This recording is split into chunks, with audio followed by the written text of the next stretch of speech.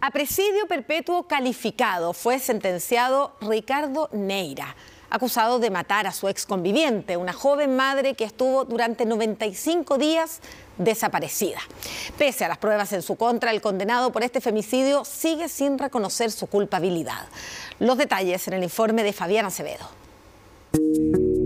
Nunca lo ha admitido. Al recibir su sentencia siguió inquebrantable, ni hablar de un arrepentimiento. Bien, acusado, ¿algo que decir? Lo único que dijo antes cuando sabía de la posibilidad de pasar 40 años en la cárcel es que mentir no lo hacía, según él un homicida. Su diálogo fue directo a las juezas que le dieron la palabra. Y por eso apelo a su, a su criterio, a su, buen, a su buen criterio más que nada, a que yo soy una persona que haya matado a alguien. Solamente eso, señoría. Las pruebas y las huellas que dejó por años en la vida de su víctima dirían otra cosa, que es el femicida de Carolina Fuentes Bustos, su ex conviviente a la cual conocía desde que eran compañeros de curso. Carolina estaba en un círculo de violencia eh, y en un círculo además eh, donde él ejercía mucho, eh, mucha, mucho poder por sobre ella. Seguía presionando que viviéramos juntos, hasta cuándo que, que por qué no lo, no lo reconocía. Tenía un motivo para no estar más conmigo. Quería la excusa perfecta cuando yo te enfrento y te ofrezco la libertad. Eh, pero eso también es parte del contexto de género que debe ser tenido en consideración al momento de eh, juzgar.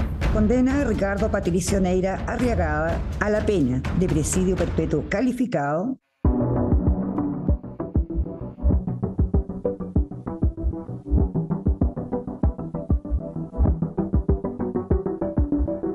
en este islote del río Ñuble entre arbustos y matorrales. En octubre del 2020, 95 días después de su desaparición, fallado el cuerpo de Carolina Fuentes Bustos, una madre que sin éxito era intensamente buscada. Luego de viajar de Santiago a Ningüe a firmar la venta de una herencia, celebrar luego su cumpleaños y reunirse en Portezuelo con quien acabaría siendo, según la justicia, su mortal atacante, el mismo que la acompañó a hacer los trámites que necesitaba, Ricardo Neira Arriagada quiero volver a rescatar a la Caro de antes, o que, que se arreglaba, que, que siempre andaba risa. Mi hijo está bien. Los dos me dijeron que mientras yo estuviera bien, ellos iban a estar bien y que les preocupaba verme sana. Aparte de eso, de, de esa terapia, el haber visto lo que estaba debajo y no podía ver. Este audio de semanas previas a su desaparición revela los intentos de Carolina de dejar atrás un tortuoso romance tras separarse, con el hombre que conocía desde su etapa escolar y que acabó marcándola para siempre. Violencia en escalada, episodios que sus hermanas y amigas más cercanas conocían. ¿Por qué tienes el teléfono bloqueado? Porque lo bloqueé elegido porque como tenía plata en la cuenta y yo desbloqueo con huella y el banco entró con la huella para tenerlo más seguro. Nada más. Si otras veces no te lo tengo bloqueado, le dije. No, es que tú tenías algo escondido, te apuesto que todavía no termináis con tu marido. No voy a repetir las instancias concretas de violencia que todos pudimos apreciar. La caída de la escalera, los golpes, encerrarla. El hijo de Carolina, Nicolás, quien también estaba al tanto de esta relación, abre por primera vez una íntima bitácora. Afirma no haber sabido sobre el violento actuar de Neira. Una mujer adulta y ella tampoco se involucraba en las relaciones que yo tenía, entonces era una frontera en, en, la confianza que había que ninguno de los dos rebasó nunca. Lo que yo conozco de la relación de ella fue lo que nos presentó, el tiempo que nosotros las par, de veces que fuimos a visitarlo donde ella convivió con él y más allá de eso ella siempre había dicho que había terminado su relación. Nunca supimos más allá. Ahora último nos enteramos cuando pasó todo esto de que ella aún mantenía contacto con él. Una como muy reservada una persona como que nunca demostraba nada. Cuando me enteré de que él fue el que la vino a buscar y estuvo con él en su domicilio eh, la mayoría la mayor parte de la familia empezó a sospechar de inmediato de él. Esté feliz nomás, Carola. Después no digas así, no es que Ricardo me dejó. Quedas ahí hasta que a ti se te arregle la situación, sin importar el problema mío, sin importar lo mal que me siento yo. Romper las reglas jamás. no te interesa romperlas, porque es más fácil para ti seguirte humillando, seguirte que te traten como la... Cuando uno empieza a investigar una, la desaparición de una persona, evidentemente siempre comienza investigando una presunta desgracia. Sin embargo, en este caso, al tratarse de una víctima mujer, uno debe inmediatamente pensar eh, o partir eh, eh, de la, del enfoque de género. El hecho de que no existieran en, principio cámaras obviamente fue algo que tuvimos que tener en consideración, pero sin embargo otras pruebas científicas que fueron presentadas durante el desarrollo del juicio nos permitieron establecer la dinámica de los hechos.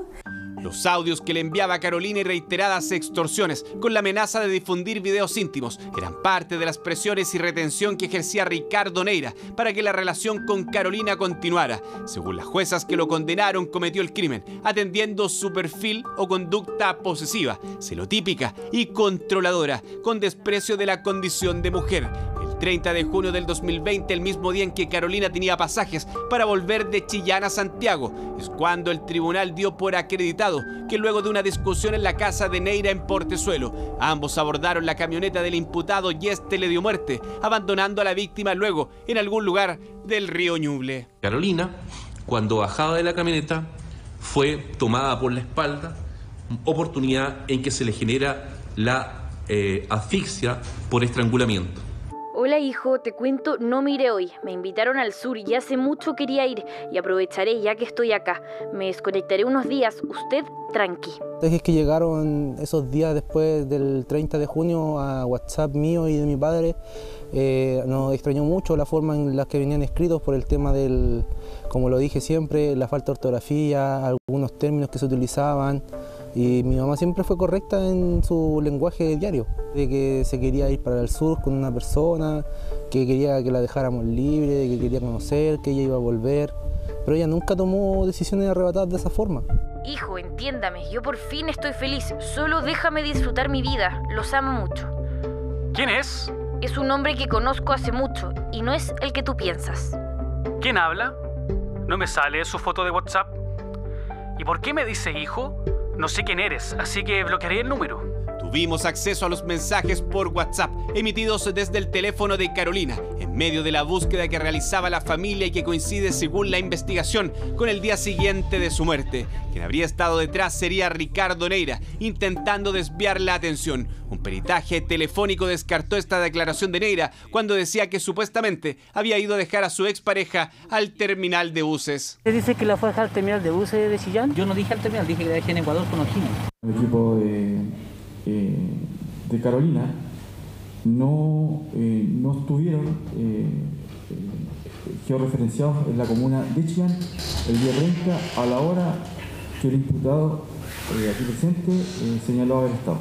El teléfono del imputado siempre georreferenció en, en la comuna de Portezuelo. Los levantamientos que se hicieron para comprobar dichas previsiones de celdas señalan sí, solo sí, que ese teléfono fue activado y encendido desde reloj sector del naranjo, previo al Carmen de El teléfono jamás estuvo en Temuco ni en ningún lugar distinto al sector de Reloja comuna de Portezuelo y Mingo, según la antena que de cobertura. Incluso logramos determinar que el imputado había implantado pruebas para poder, en este caso, eh, tratar de desvirtuar la participación que él tenía y con eso además intentar despistar, digamos, a, la a las policías eh, respecto a, a, su participación. Pero otro rastro llevaría ya a cortar aún más las dudas con respecto a su participación con esta búsqueda que hizo días después en Google.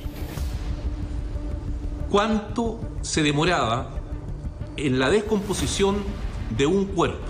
O sea, ¿quién busca información como esa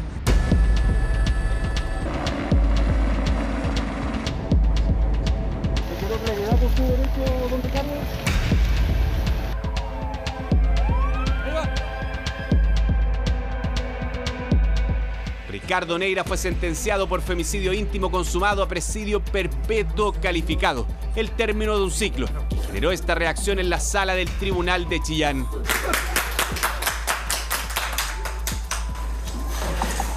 gracias.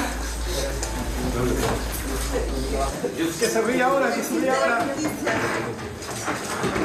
Como indicó el trabajo que realizó PDI junto con la Fiscalía y Carabineros eh, se llegó la- al consenso de que él fue la última persona que estuvo en contacto con ella y el sospechoso siempre para nosotros va a ser él. Que pude notar una pequeña, no sé si decirlo, carcajada o una morisqueta en su rostro cuando la, la jueza estaba leyendo la sentencia. Él no demostró ninguna incomo- incomodez. No creo que él sienta algún remordimiento por todo lo que ha pasado. Fue condenado, condenado a presidio perpetuo calificado y en este caso la calificación de femicidio íntimo fue clave, el trabajo de pruebas fue clave. A este mismo tipo de delito nosotros esperamos que prime la coherencia en el sistema jurídico y que apliquemos la ley tal como fue discutida y pensada, además bajo los estándares de los convenios internacionales que ha firmado Chile. Familia unida jamás será vencida. Ti, Carolina, ya puedes descansar en paz. Un lienzo, dicen, de la batalla más dura para una familia y una comunidad que tiene un dolor intacto.